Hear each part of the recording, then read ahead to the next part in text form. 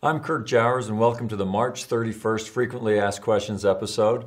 As always, I'm joined by Dr. Russell Osguthorpe, the Chief Medical Officer of doTERRA and a board certified pediatric infectious diseases specialist. Hi, Kirk. Hello, thank you for continuing to answer these questions. My pleasure.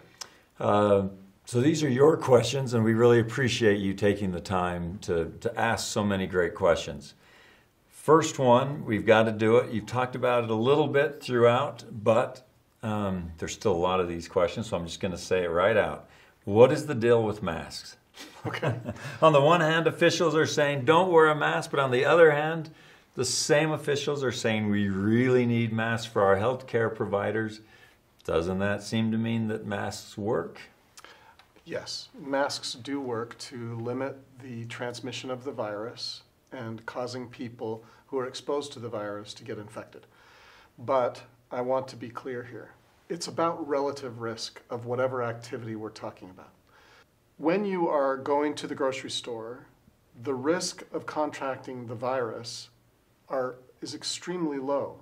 If you stay six feet from others and you practice good social distancing and hand washing, the risk of contracting the virus, of getting infected, is extremely low. Now, if, however, you are the caregiver for your spouse who is at home tested positive for COVID 19, not sick enough to be in a hospital, but you are the primary caregiver for them in their isolation phase for 14 days, it becomes very important that when you walk into the room, they are wearing a mask, and when you are caring for them, if possible, you wear a mask as well. Okay. Because that situation, you know you are being exposed to the virus. And so personal protective equipment becomes incredibly important at decreasing the likelihood that the virus will be transmitted to you from your loved one or from a patient to a caregiver in a hospital, for example. So what we're saying is don't save PPE for just the healthcare providers. We're saying save PPE for when it is most needed. And in yesterday's episode, we talked about the, the survey in over 200 large and small cities said that they are woefully uh, under underprepared with with PPEs. Right. Are there any risks with people just wearing masks? If we had unlimited amounts of masks, is there any risk of just um, wearing your masks? It's a good question. Masks and the wearing of personal protective equipment uh, is a skill. And if you use them correctly, uh, you can mitigate risk, you can decrease your risk.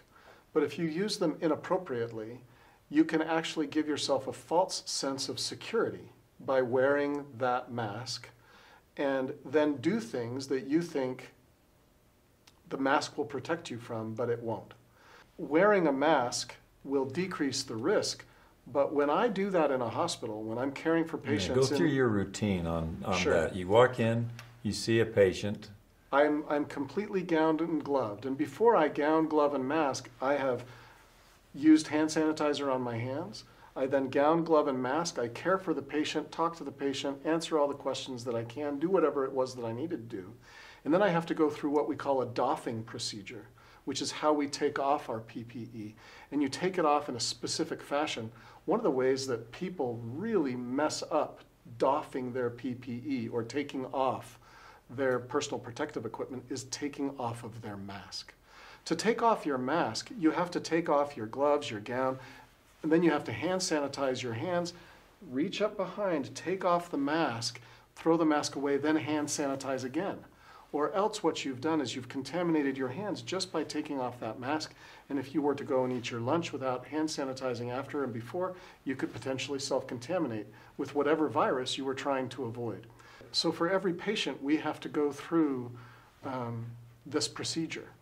They right. are not multi-use pieces of equipment for us in a hospital um, because we go from infected patients to uh, non-infected patients and so we have to be very careful about how we take on and off our PPE and use it very appropriately. So I guess what we're asking is it's not that we say that PPE only works for people in a healthcare environment. That's not true. PPE works for everyone when we use it appropriately and correctly.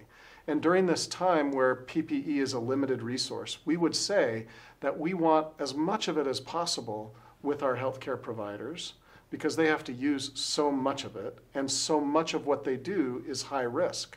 Right. They're on, literally, folks, they are on the front lines.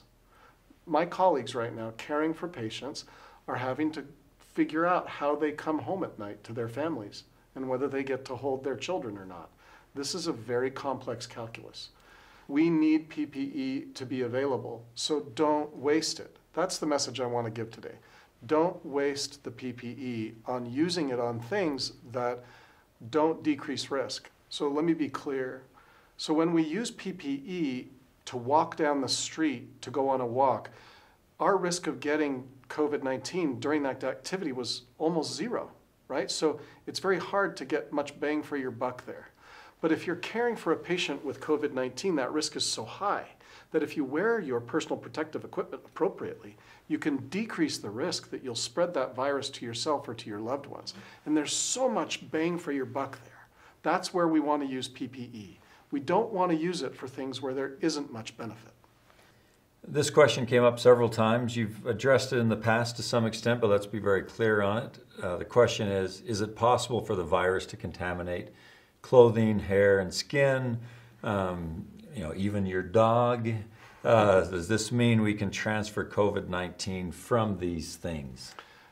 COVID 19 has been found on many different surfaces. The research suggests that you can move COVID 19 and recover the nucleic acid off of many different surfaces up to many hours after it was deposited there. So the short answer to your question is yes. You can move COVID 19 to inanimate objects, pick up COVID 19, and theoretically get infected from those. Right. And kind of back to the PPE, if, if you're wearing gloves, it could marginally protect you uh, if you use it correctly, but if you theoretically touch a, an item that has the COVID 19 and then touch your face with your glove, Yeah, you didn't do yourself any benefit. Doesn't there. help at all, right? Right. Um, the other thing to remember is, is that hand washing, the reason why we talk about hand washing is not just because we're trying to be everybody's mom. right. The reason we're talking about hand washing is, is we know that our surfaces can be contaminated with COVID-19, and if we frequently wash our hands appropriately, we can remove COVID-19 from our hands and decrease the likelihood that we get infected. So frequent, appropriate hand washing works. Sounds good to me. Thank you so much for those answers, and thank you for watching and for your questions. And we'll look forward to seeing you tomorrow.